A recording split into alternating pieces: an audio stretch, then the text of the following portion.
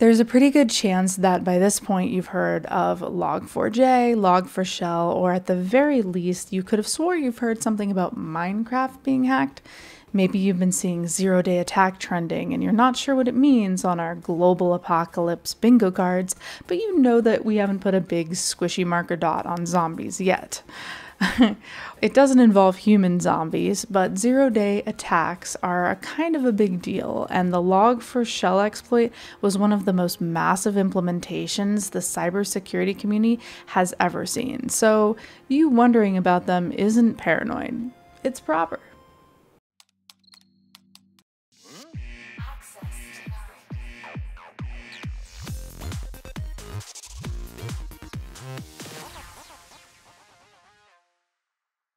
Welcome to my privacy series, Properly Paranoid. I recently did a privacy panel with law experts that uh, will drop in a couple of weeks. You'll really want to watch that. That's that we talk for a couple hours. But let's first get you set up. And like every good functional morning, it starts with Java. Uh, only instead of liquid wakefulness, it's the programming language from the 90s as Java proudly reminds us anytime we need to update over 3 billion devices plus run Java, at least, not counting Java running on every Android phone in existence, this particular zero day vulnerability gives hackers a way that they can use a zero day exploit to launch a zero day attack. Okay, but what does that actually mean? A zero day attack is quite simply when hackers find the vulnerability before the vendor does. The vendor in this instance isn't operating a cart for delicious street tacos, but instead the company either develops or acquires software. Either they've built it or they've just bought it and run it zero day events are named that way because there's zero days to fix it. It's already a problem. The three words used in conjunction with zero day attacks are vulnerability, exploit, and attack, which really refer more to order of operations than anything else. And a zero day vuln is a software vulnerability that's used before it's discovered by the vendors, giving, again, zero days to be fixed. So, a zero day is a mechanism or a um, method which the attackers use, and the zero day attack is, you guessed it, the attack itself. So, zero day attack. The thing that makes zero days such a big deal are not unlike what makes heart attacks such a big deal.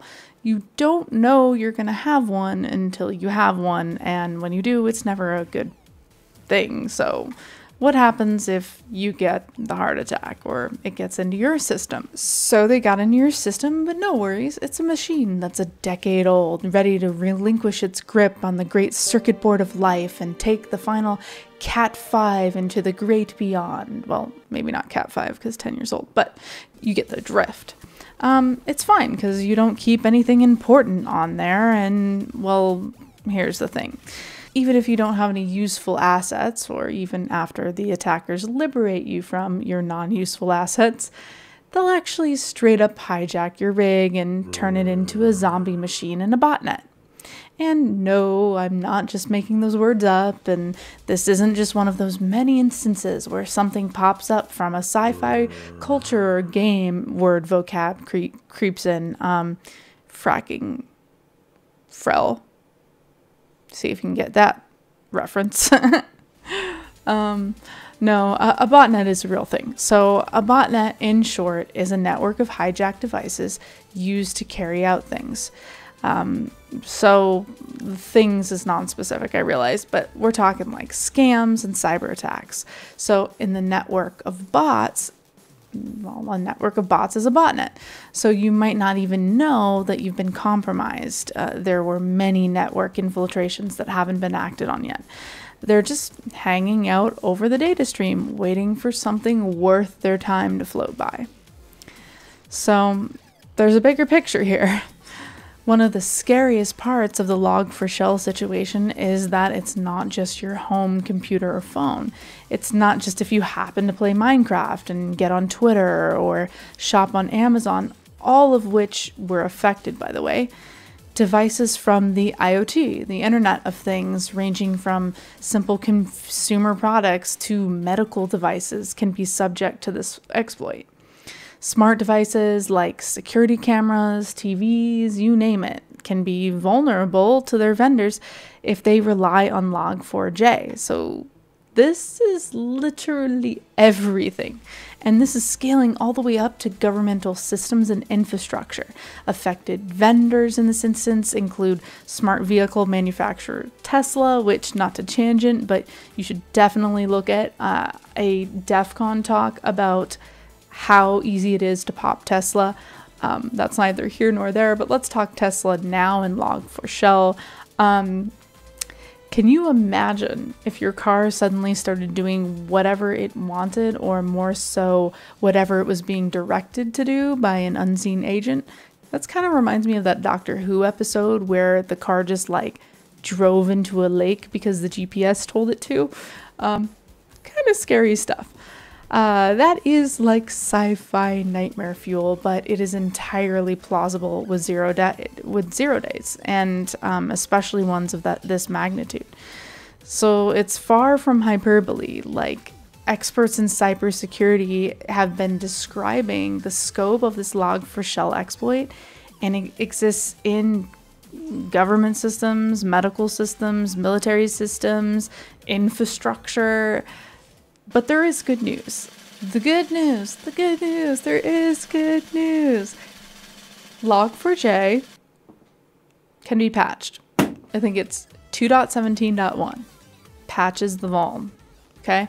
Woo, cannot be understated. We'll do a dance. Please have some effects happen here so it cannot be understated.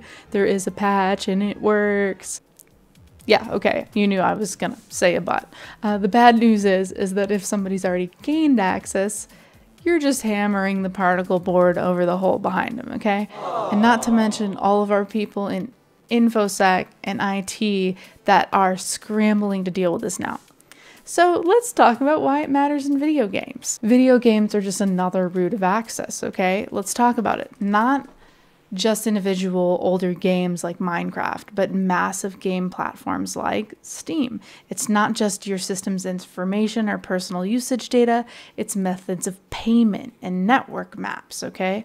Another goal of these attacks is to further the scams that they're already doing by appropriating accounts and impersonating legitimate users to social engineer and do that malware transfer. Even if their malware is them just letting themselves through for one unlocked window above the kitchen sink, you know, it, it means they're just creeping around and they might be waiting to see if you bring home some good groceries, or they might just be setting up a base of operations in your attic.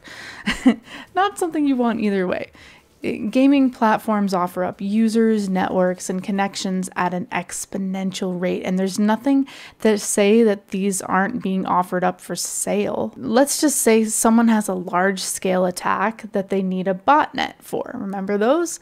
Those lurkers just fire up their remote commands, and then the computer you thought was fine is now a zombie machine doing whatever someone else is telling it to do.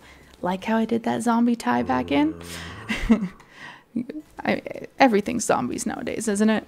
Realistically, there's not anything you can do about zero day attacks because of their very nature.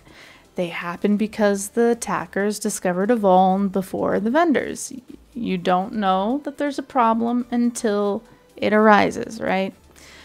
Cybersecurity experts agree that it's more important than ever to use best practices, suggesting that, you know, the user limits the number of vendors that they use because, you know, if you don't have the software, then you're not being compromised through it, right? So I just kind of wanted to break down zero day attacks, talk a little bit about zero day for someone who doesn't know what it is, and you know, bring properly paranoid back because I love talking about privacy.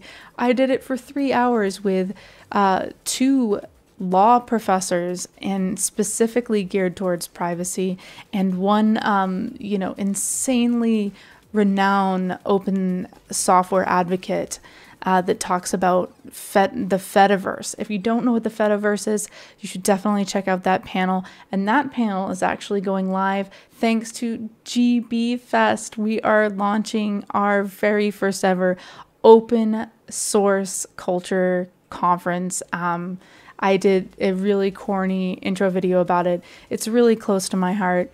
If you guys don't know what Geek Beacon is, uh, it's essentially my community that was born from my YouTube channel. And, you know, I know a lot of people, a lot of creators have communities that are named after them, and that's fine. They do them, that is cool. I wanted something that was more of a community and not just kind of a, a veil of a community. I really wanted it to be geeks helping other geeks, and I'm so happy to see Geek Beacon blossom into the 6,000 strong it is over on Discord. And we're we've been giving money to the Electronic Frontier Foundation. A lot of really cool things are happening, and we have a two-day event. One is all about user privacy, digital civil liberties. You know what I like to talk about. Um, you know, open source software. And the second event is covering mental health, or the second day is covering mental health and accessibility, where uh, I interview a 90% staffed by blind individuals that they create uh, games. And, and that's just like one small sliver. We have uh, Soldier Knows Best. If you don't know Mark, uh, like we go way back. Have Dom um, from he does an amazing tech channel. I can link them, but uh, I just cannot thank the community enough for being able to give me a platform that I can do this stuff. So YouTube isn't showing my videos, so I make shorts because shorts are the new hotness, but those are cringe because they're shorts and I'm not a TikToker. And I'm like, people see those and they're like, I don't like shorts, so me. And um, unsubscribed. And I'm like, but wait, I'm doing really, really cool things that you should definitely check out. Um, but none of that is being shown because it's just serving videos to a very, very small percentage of my subscribers.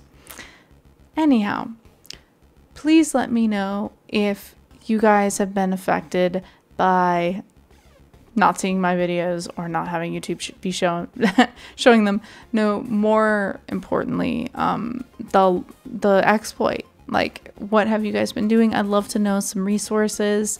Um, I will totally see you at the Geek Beacon Festival, very first ever. Um, and I will talk nerdy to you later.